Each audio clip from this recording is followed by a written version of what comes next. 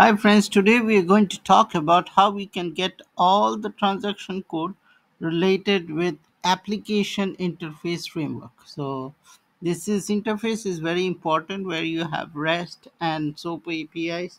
So how we can get all the important transaction codes related with application interface framework. Okay, so first thing is you go to SAP Easy Access and you type in this slash n slash aif slash.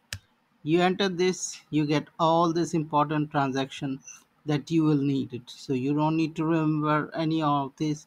You can find everything related with this. I don't want to get into details about this but i'll cover separate videos explaining most of these transaction codes. So stay tuned to my sap channel and SAP and happy sap learning and uh, and keep learning